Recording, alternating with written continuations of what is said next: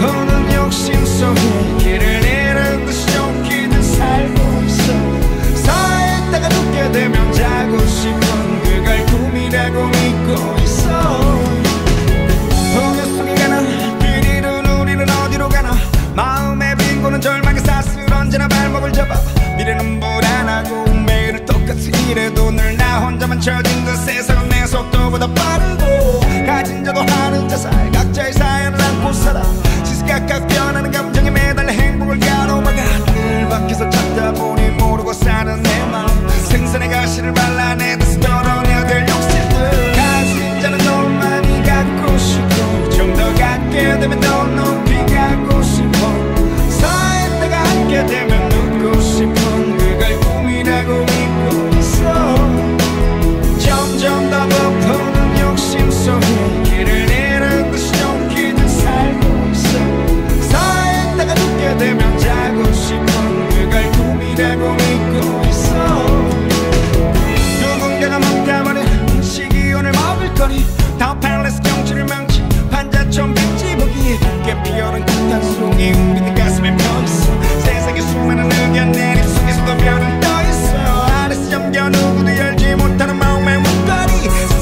듣지 못하면 절대로 못 듣는 내 안의 목소리. 날 위로만 쳐다보니 보이지 않는 행복 마음 깊숙이 박혀있는 욕심이